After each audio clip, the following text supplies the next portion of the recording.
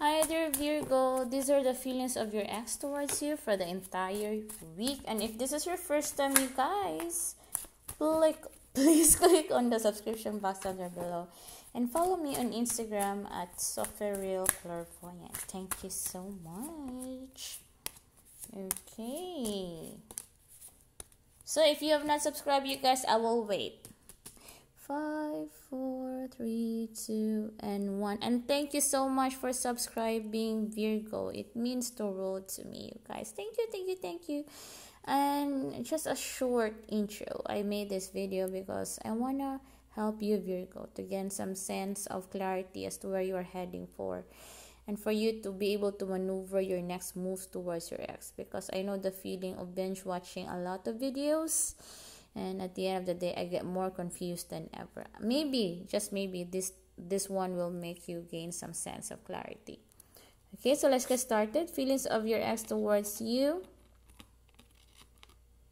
Okay, Virgo, I can sense um it seems like your ex wants to come up with a good idea a good strategy, a good tactic on how to handle the situation, how to handle your connection. Because Virgo, I got a feeling itching. The word is itchy. I heard the word itch, itchy. Your ex is really so is having an itch to connect with you or wanting to get back with you guys. An itch.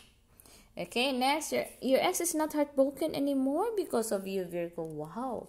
Your ex is not heartbroken anymore because of you. Your ex is already good, all cool, no issues, and whatnot. Very nice because I know you've been wanting this thing to happen for the longest time that there, there will be no more heartaches. And guess what? Yes, totally no more heartaches. Virgo. Next, it seems like you're having an ex who is dependent on you or clingy or needy um, I'm not sure if it's a good thing or a bad thing, but if you're the type of person who really is like thinking that this is gonna be a good thing because your ex is still holding on to you, then yeah. All I can sense is a very codependent energy here, clingy and needy. Another feelings of your ex towards you, it seems like your ex doesn't want to make a drastic and fast move. Your ex is becoming a turtle Virgo. So do not expect that there will be a fast movement here. Because um, yeah, we are having issues with movement because your ex is is is becoming a turtle and kind of slow in movement. Your ex feeling of your ex towards you chill. Simply chilling out. Yeah, I don't know your I I don't know your ex is telling himself or herself like nothing wrong with chill out. totally your ex is in a chill out mode um with regard to your connection because at the end of the day your ex still has ego. Ego and wants to be the boss of the connection. Very narcissistic. Yes virgo. So these are the feelings of your ex towards you. And my suggestion virgo is just just in case this person will connect with you i think not really much.